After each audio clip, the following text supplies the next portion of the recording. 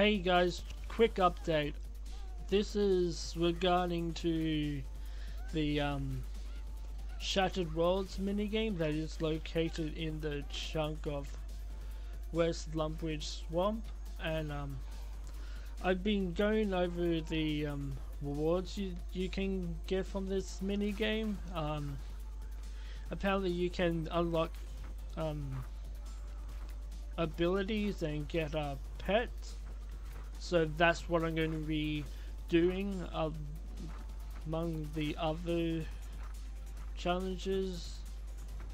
Um, so my current challenge is 60 range and 65 attack. Um, just so I can use these abilities and I'm going to be getting the pet as well plus the um,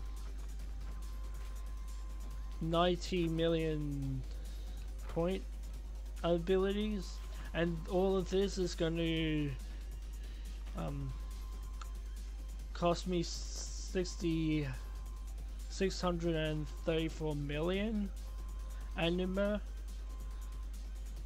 which you can get from playing this. I don't know how fast that's going to be.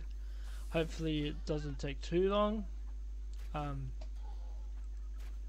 that's all from this update. Um, I'm thinking about foregoing my 99 smithing grind because 99 smithing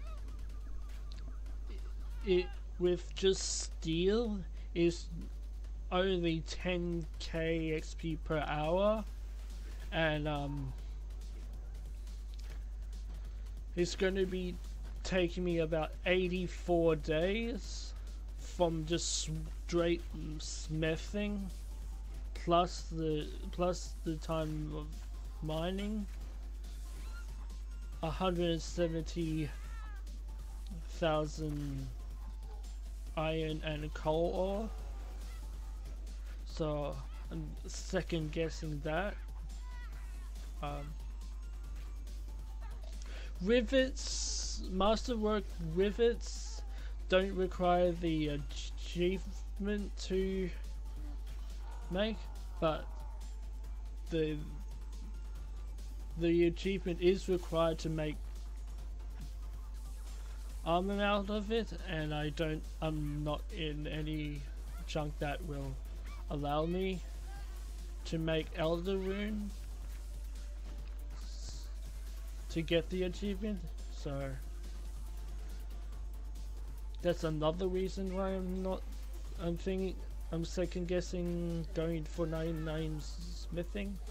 Let me know what you guys think in the comments section. Uh, that's it for this update. Don't forget to leave a like down below and subscribe. See you next time.